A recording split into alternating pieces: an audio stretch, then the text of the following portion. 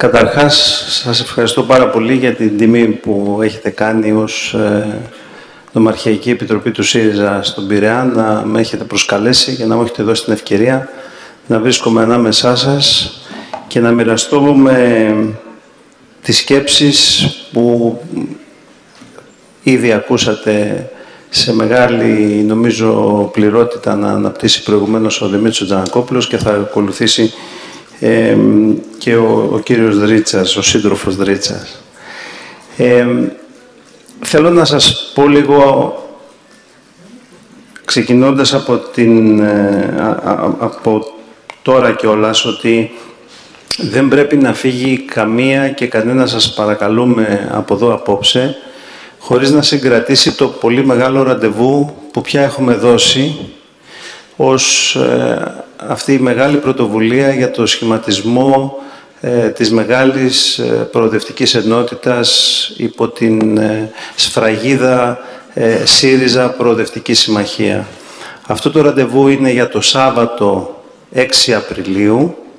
Ε, επιφυλάσσομαι λίγο ακόμη για την ακριβή ώρα έναρξης ε, του, της μεγάλης εκδήλωσης που θα πραγματοποιηθεί στο χώρο του ΤΑΙΚ Βοντό και ε, θέλω οπωσδήποτε να σας παρακαλούμε να το κρατήσετε αυτό το γεγονός γιατί μην έχετε καμιά αμφιβολία ε, θα είναι ένα μεγάλο πολιτικό γεγονός, δεν θα είναι απλώς μια εκδήλωση η οποία και θα επικυρώσει ε, όλη τη διαδρομή που έχει γίνει μέχρι στιγμής αλλά κυρίως θα ανοίξει διάπλατα το δρόμο για πολύ ε, σημαντικές εξελίξεις ε, κατά τη γνώμη όλων μας στον προοδευτικό χώρο. Ε, αγαπητές φίλες και αγαπητοί φίλοι, εγώ νομίζω ότι θα είμαι για σας πολύ πιο χρήσιμος, επειδή ακούσατε μια ε, πολύ συγκροτημένη προηγουμένως ανάλυση από τον Δημήτρη και προσέγγιση, να σταχυολογήσω δύο-τρία ε, νομίζω ερωτήματα που εύλογα γεννιόνται ε, ή και που έχουν τεθεί σε εμάς, γιατί όπως ακούσατε και προηγουμένως, ε, αυτή η εκδήλωση έχει αρκετές πίσω της που έγιναν σε διάφορες πόλεις της Ελλάδας, άρα κουβαλάμε την εμπειρία αυτών των εκδηλώσεων. Προχθές ήμασταν με τον Δημήτρη στη Λαμία. Λοιπόν, νομίζω ότι θα σας ήμουν πολύ χρήσιμος έχοντας εσείς όλες και όλοι ακούσει όσα είπε ο Δημήτρης. Τώρα να, να υποβάλω και ταυτόχρονα να απαντήσω δύο-τρία ε, από ό,τι φαίνεται ε, αυτά που λέμε κομβικά ερωτήματα. Το πρώτο είναι, είναι όλη αυτή η ιστορία μας έρχεται από πολλούς εύλογα, μας έρχεται από πολλούς ε, καλοπροαίρετους πολίτες. Είναι όλη αυτή η ιστορία ένα τρικ. Είναι μια ε, κατασκευή ε, προσωρινή υπό την ανάγκη των εκλογών που έρχονται και υπό οτιδήποτε άλλο μπορεί να σκεφτεί κανείς ε, και το οποίο θα μπορούσε να έχει αυτό το πρόσκαιρο και τον προσωρινό χαρακτήρα. Είναι κάτι καινούριο, είναι κάτι τελείως καινούριο. Με άλλα λόγια, όλο αυτό, όλη αυτή η συζήτηση, όλη αυτή η ιδέα να ενωθούν οι προοδευτικές δυνάμεις στη χώρα μας, στην πατρίδα μας.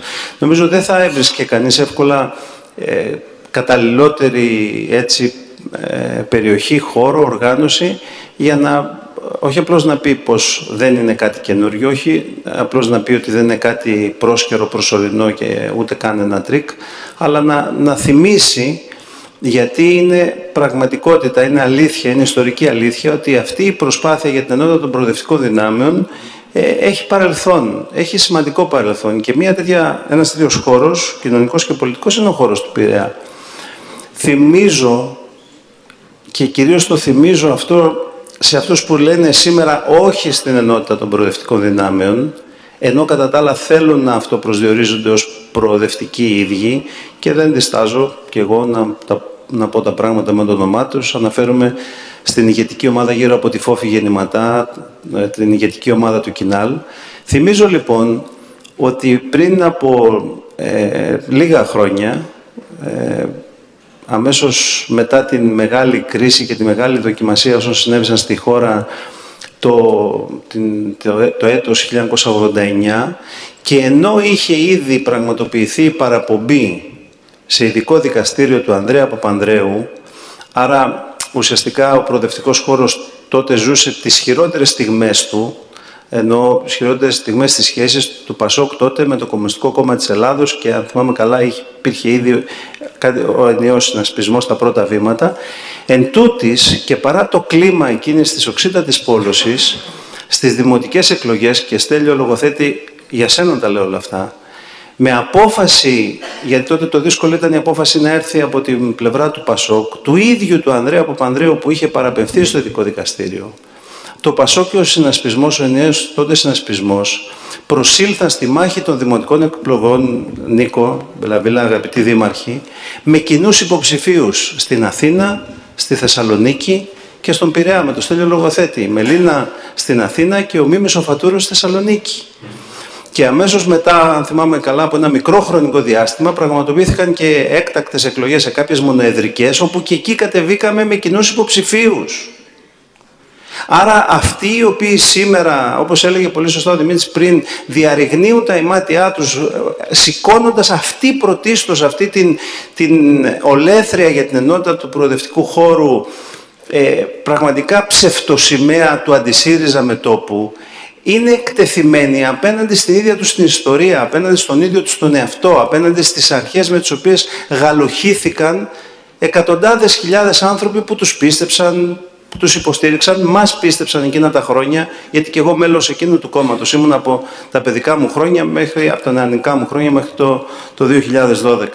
Άρα είναι μια παλιά ιστορία. Έχει, έχει βάθος ιστορικό και τώρα παίρνω αυτό το παράδειγμα επειδή ε, είναι ο Στέλιος ανάμεσά μας, αλλά υπάρχει ακόμη μεγαλύτερο παρελθόν. Πίσω υπάρχουν κοινοί αγώνες εναντίον ε, στο κράτος της δεξιάς, εναντίον στα φαινόμενα της βίας και της νοθείας. Ε, και, και μπορεί αυτό το, που λέω τώρα κανείς προφανώς να το εμπλουτίσει ε, προσθέτοντας πάρα πολλά ιστορικά στοιχεία. Άρα δεν είναι μια ιστορία καινούρια, δεν είναι μια ιδέα καινούρια.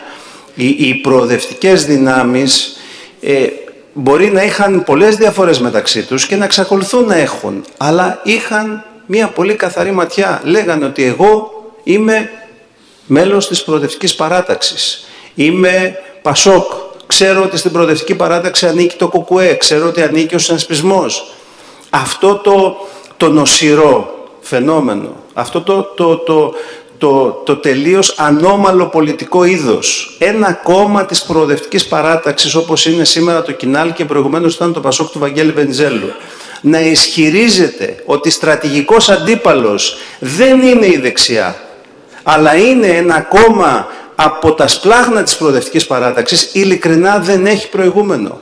Δεν έχει ιστορικό προηγούμενο και υπ' αυτήν την έννοια, εδώ αρχίζουν πια και φωτίζονται τα γιατί. Γιατί αυτό όλο; Αφού δεν έχει ούτε ιστορικό έρισμα, ούτε πολιτική στήριξη μπορεί να βρει, ούτε πολύ περισσότερο σε σχέση με το σήμερα και το αύριο μπορεί να βρει ε, κάπου να ακουμπήσει. Πού να βρει να ακουμπήσει, να βρει στο παράδειγμα των ευρωπαϊκών κρατών, να βρει να ακουμπήσει ας πούμε στο παράδειγμα της Ισπανίας, όπου οι σοσιαλιστές μαζί με τους Ποδέμους έχουν βρει ένα, ένα, ένα, ένα κοινό τρόπο προσέγγισης και συνεργασίας. Πού να βρει, να βρει επαφή στην Πορτογαλία, όπου εκεί σχηματίστηκε η κυβέρνηση μεταξύ των σοσιαλιστών και των αριστερών, η κυβέρνηση με πρωθυπουργό Κώστα, που πάει από ό,τι λένε, από το καλό στο καλύτερο, κερδίζοντας την εμπιστοσύνη των πολιτών της Πορτογαλίας κλπ. Πού να βρει, πουθενά. Αλλού θα βρει και θα είναι ένα από τα σημεία που θέλω να, να υποστηρίξω στη συνέχεια. Το δεύτερο ερώτημα, το οποίο μας τέθηκε στη Λαμία και γι' αυτό επειδή το έχω πολύ πρόσφατο λέω να το διατυπώσω ως, όπως ακριβώς μας τέθηκε.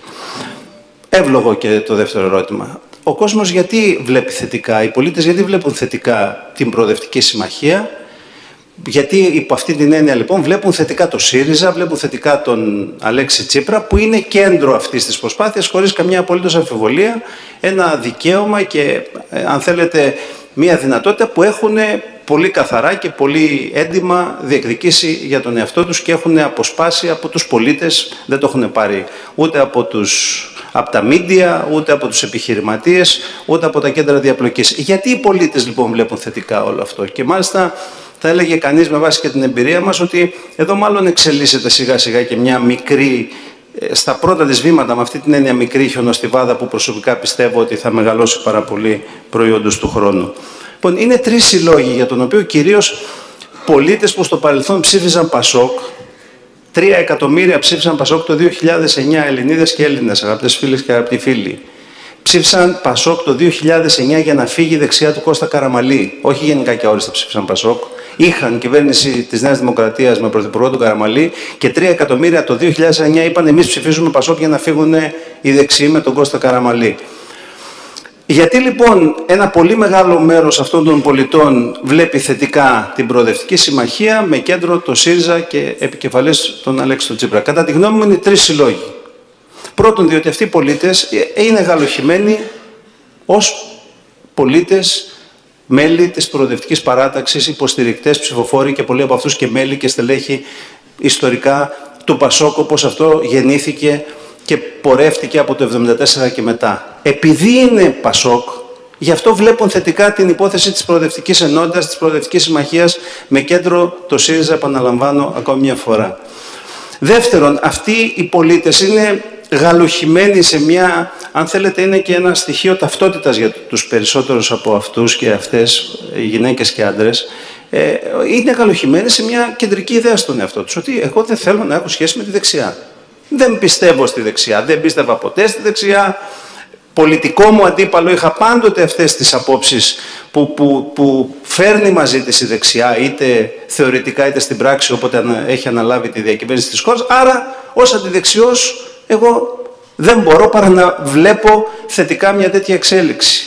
Δεύτερον, και το είπε, έχει απόλυτο δίκιο σε αυτό ο Δημήτρης, δεύτερον, ο δεύτερος λόγος για τον οποίο όλο και περισσότεροι πολίτες βλέπουν θετικά αυτή την προσπάθεια είναι γιατί ακριβώς εδώ η πολιτική ηγεσία της φόφης γεννηματά του, του Κινάλ έχει αφήσει όλο το χώρο ελεύθερο σε όλους εμάς. Είναι τόσο απλό.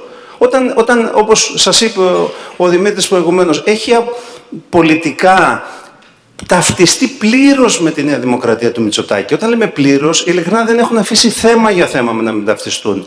Ε, ένας κόσμος που δεν θέλει τη δεξιά και πολύ περισσότερο την οικογένεια Μητσοτάκη, πολύ απλά είναι πολύ, ε, πολύ θετικά διακείμενο σε οτιδήποτε μπορεί να τον πείσει, και αυτό είναι ένα στίχημα για όλους εμάς, ότι αξιόπιστα μπορεί να δώσει μια προοδευτική απάντηση στα προβλήματα που κάθε ένας και κάθε μια Ελληνίδα και Έλληνας κουβαλάει.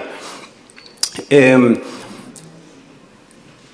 Ποια ήταν τα μεγάλα θέματα στη χώρα τον τελευταίο χρόνο, μην πάμε παραπίσω. Ποια ήταν τα μεγάλα θέματα; Τα μεγάλα θέματα ήταν η Συμφωνία των Πρεσπών.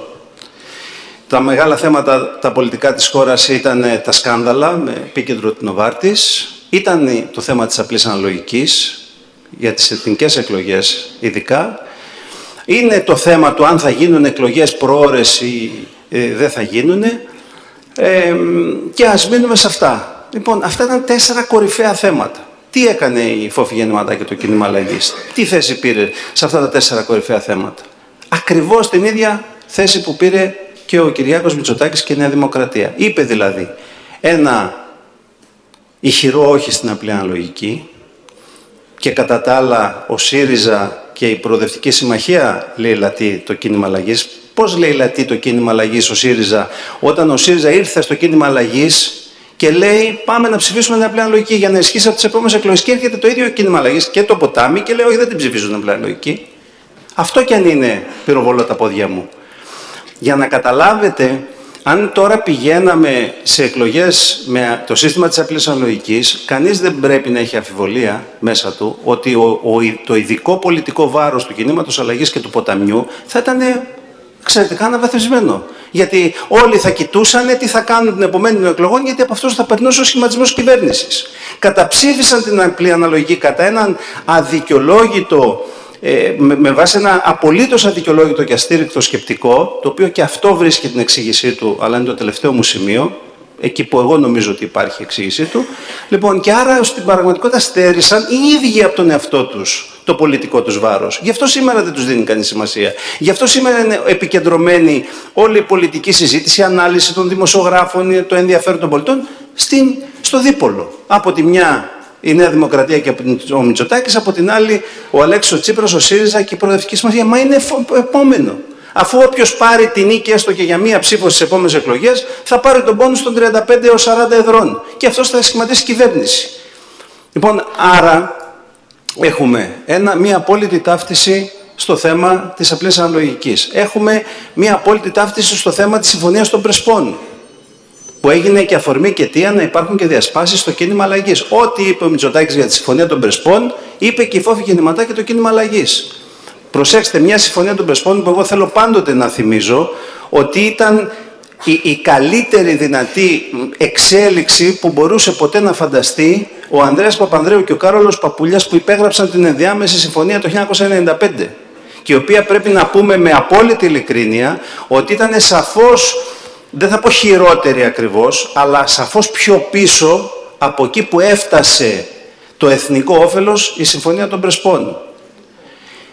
Στη, στην, στα σκάνδαλα και στην Νοβάρτης. Είναι δυνατόν στο, στο θέμα της Νοβάρτης να είναι και μακάρι να είναι όλοι τους αθώοι. Μακάρι να αποδειχθεί από τα δικαστήρια ή χωρίς τα δικαστήρια ότι δεν έχει κανείς μπλέξει με καμία ε, οποιαδήποτε, οποιοδήποτε είδος διαφθορά. Είναι δυνατόν να λες σε ένα τέτοιο σκαστό σκάνδαλο, παγκόσμιο σκάνδαλο, ότι αυτό στην Ελλάδα είναι σκευωρία. Την ώρα που στο τέλος τέλος, όπως το Σύνταγμα είχε φτιαχθεί το προηγούμενο διάστημα, ξεκίνησε η διαδικασία της διερεύνησης. Με το που ε, έσκασε το θέμα του, του, του σκανδάλου Νοβάρτης, άκουσες δύο φωνές, μία του Μητσοτάκη και μία της Γεννηματά, λέει σκευωρία η Νοβάρτης.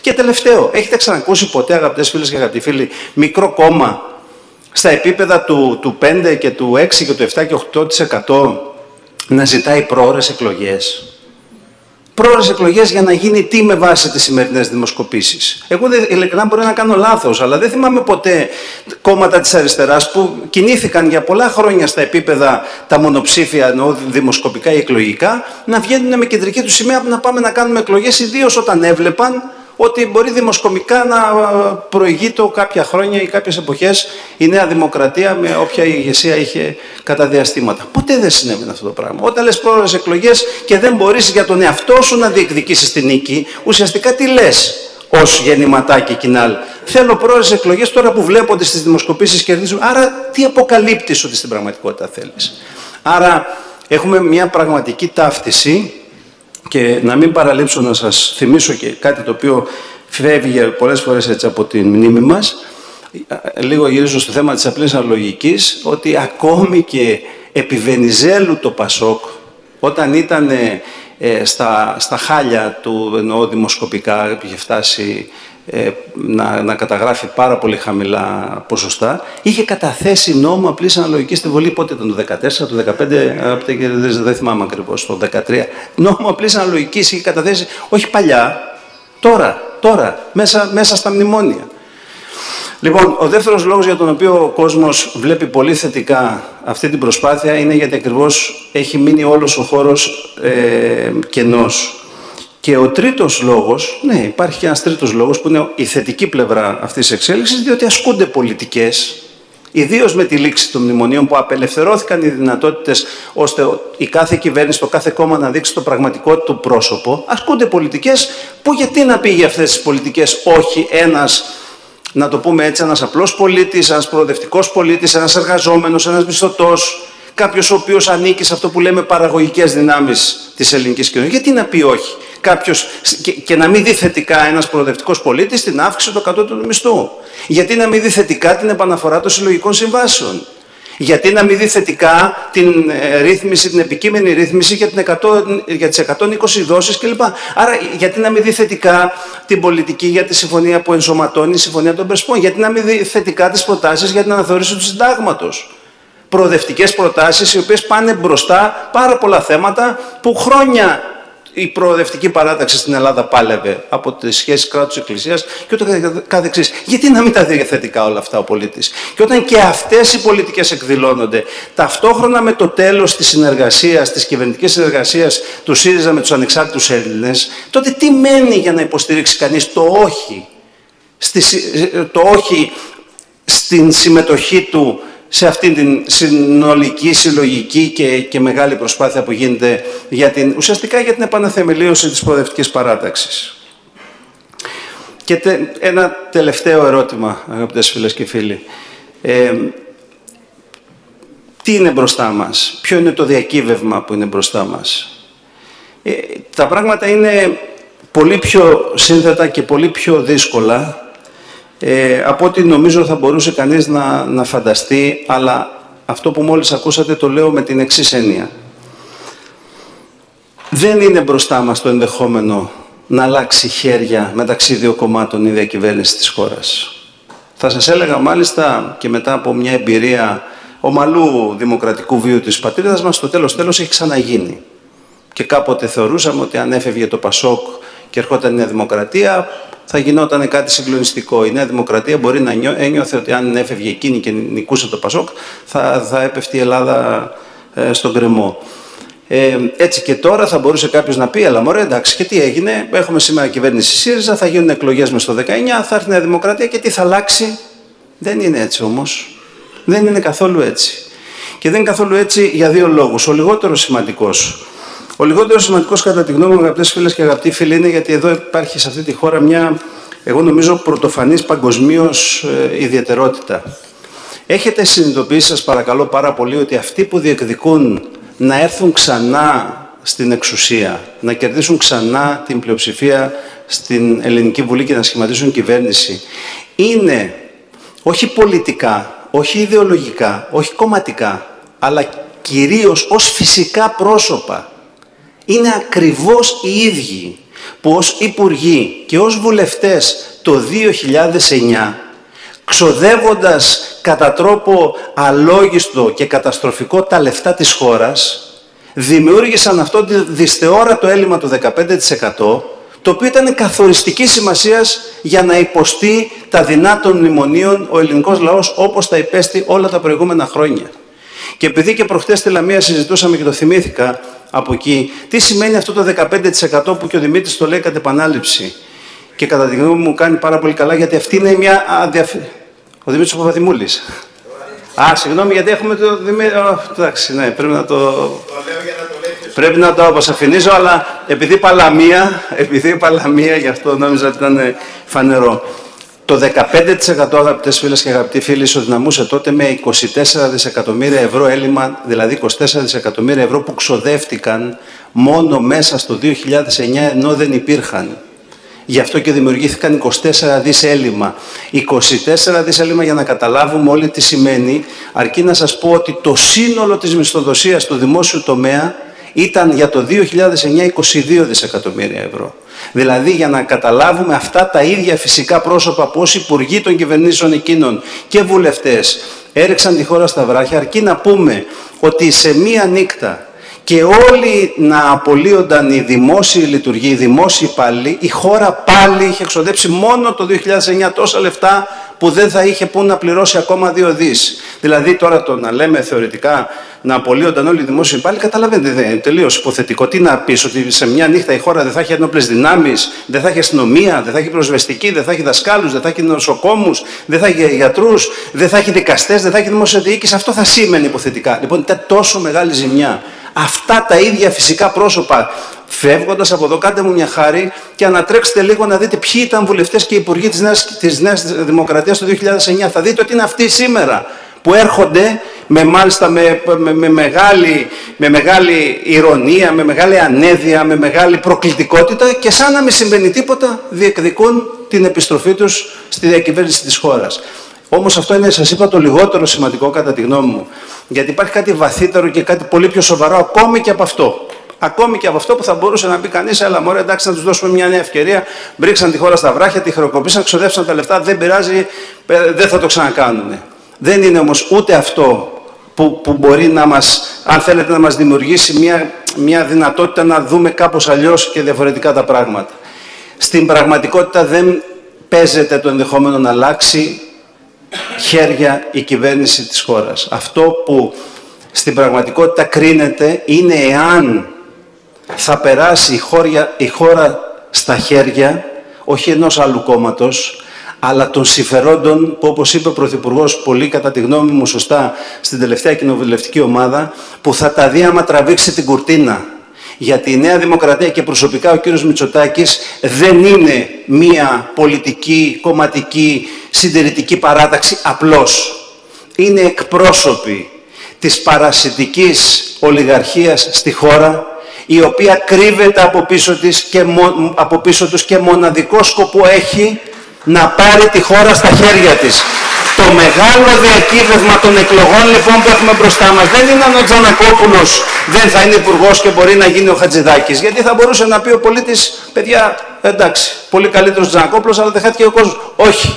Είναι ότι θα φύγει ο, ο Τζανακόπουλος, θα φύγει ο Τσίπρας και δεν θα έρθει ο Μητσοτάκης, αλλά θα έρθει η ολιγαρχία που είναι από πίσω προκειμένου να βάλει τη χώρα στο χέρι και να πάρει ουσιαστικά το όφελος από τον κόπο των παραγωγικών δυνάμεων που αποτυπώνεται σε αυτά τα περίφημα πλεονόσματα που πια παράγει η χώρα σε αιτήσια βάση και να τα καρποθεί. Να τα κάνει πάλι τραπεζικούς λογαριασμούς, να τα κάνει πάλι τραπεζικούς λογαριασμούς σε εξωχώριες, σε offshore εταιρείες και ούτω καθεξής. Άρα, τελειώνω με μια κουβέντα αγαπητές φίλες και αγαπητοί φίλοι. Εδώ υπάρχει μια τεράστια ευθύνη όχι όμως μόνο για εμάς που έχουμε αναλάβει ένα μέρος ε, αυτής όλης της προσπάθειας και βγαίνουμε μπροστά και βλέπετε ε, τις μάχες που δίνονται καθημερινά από δεκάδες, εκατοντάδες στελέχη σε όλη την Ελλάδα. Εδώ υπάρχει ευθύνη σε όλους εσάς στο, στην κάθε μια και στον καθένα. Αυτή η υπόθεση δεν είναι υπόθεση της κυβέρνησης, δεν είναι υπόθεση των βουλευτών,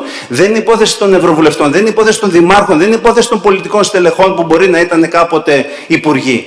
Είναι υπόθεση του κάθε πολίτη ξεχωριστά. Εδώ δηλαδή απόψε πρέπει να φύγουμε όλοι με μια πραγματική απόφαση ότι από εδώ και πέρα, από, από απόψε και μετά η κάθε μια και ο καθένας πρέπει να ενώσει δυνάμεις να ενώσει δυνάμεις έχοντας την απόλυτη βεβαιότητα, την απόλυτη πίστη ότι θα ενωθούν δυνάμεις για να δοθεί ένας αγώνας που είναι έντιμος αγώνας. Γιατί ο αγώνας που θέλουμε και θα δώσουμε και έχουμε ξεκινήσει να δίνουμε είναι ένας έντιμος αγώνας, είναι ένας αληθινός αγώνας, είναι στο τέλος ένας δίκαιος αγώνας υπέρ των πολλών, υπέρ των πολιτών, υπέρ του ελληνικού λαού, υπέρ των παραγωγικών δυνάμεων της χώρας. Και υπ' αυτήν την έννοια είναι ένας αγώνας που κατά τη γνώμη και τη δική μου αργά ή γρήγορα θα δικαιωθεί εφόσον όλοι πέσουμε με όλες μας τις δυνάμεις σε αυτή τη μάχη. Σας ευχαριστώ πάρα πολύ.